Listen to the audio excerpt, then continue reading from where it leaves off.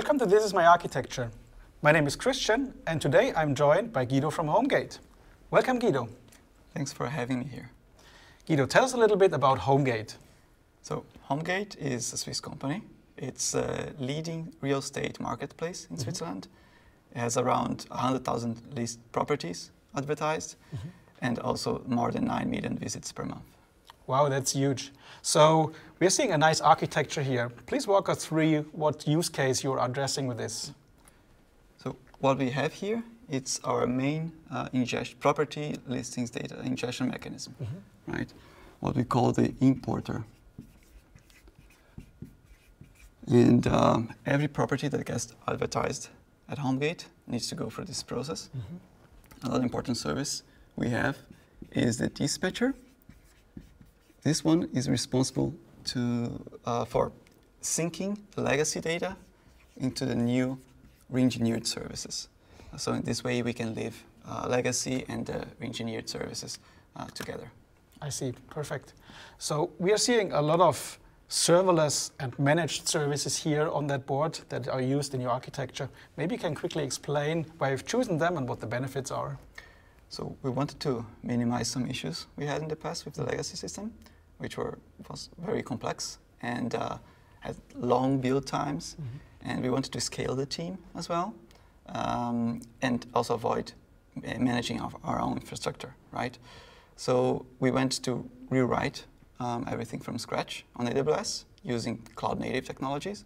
Um, in this, this way, we can leverage uh, AWS infrastructure mm -hmm. and uh, worry less about um, scaling and provisioning and security and worry more about our domain, which is real estate marketplace. Okay, so by choosing this microservice-based architecture, this allows you to focus more on innovation and building new things instead of managing uh, complex architectures. Exactly. That's very good. So um, please walk me through the import process and what happens in this architecture. Sure. Um, first, we have a CloudWatch event, the scheduled event that triggers this Lambda that to pull data from the legacy uh, system and replicate that in a DynamoDB table.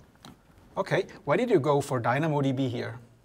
So DynamoDB is very flexible. Um, it's also managed service of course. Uh, it's also very fast to provision, right? We also can we leverage uh, DynamoDB streams. It's very neat. Uh, for any change that happens in legacy, we can decide if it's a relevant change to be published or not. Uh, and we do that in this Lambda here. Okay, so to sum it up, this uh, dispatcher microservice that you build allows you to um, pull the data from the legacy, which you still have, and forward it to the new um, created importer microservice, which uh, is handling all the imports that, um, that go through the, through the platform. Exactly. Good. So maybe you can tell me what happens next once you have the data pulled and kind of curated, converted to the new format. Um, where is it handed over? So, and then we, we call a endpoint, an API endpoint, mm -hmm. which is a central publishing endpoint at HomeGate. Um, and this will trigger, invoke a Lambda that then saves this new listings table data in an in internal DynamoDB table and also triggers a set of step functions. Okay, so DynamoDB is another data store for this uh, listings importer microservice. Um, I'm very curious to learn more about what you are using step functions for. So um, the ingestion mechanism is, uh, is a complex, rather complex service, right? Mm -hmm. So we have many steps. We have to enrich the listing with uh, geotagging information, mm -hmm. um, also replace numbers with call tracking softwares, um, as well as quality grading and image uh, optimization and, and uploading. And uh, step functions make managing this whole workflow easier. Uh, and also, we can visualize easily uh, in wherever, whenever something goes wrong, and we can retry that step to continue the ingestion process at any moment. And I guess it's also easily possible to integrate additional steps if you would need to, to do some other modifications and other enrichments and data modifications. Exactly. Perfect. So once the data is enriched and the listing is ready to be published, what happens next?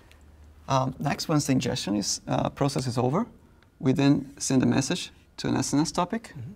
uh, where any other microservice that is interested in uh, listing publishing uh, can listen to and react to it. So one example is the search alerts, uh, where we have uh, push notifications or email alerts mm -hmm. about interesting properties. and we emit millions of them per week. Um, that's one of the services right now that we use, but future re-engineered services can also use this topic. Um, that way we can um, decouple systems and react to, to any published event. Yeah. Great. So I really like that microservices-based approach and the clear interfaces you implemented in order to connect them. Very interesting. Thanks for sharing this architecture with us today. You're welcome. And thanks for watching This is My Architecture.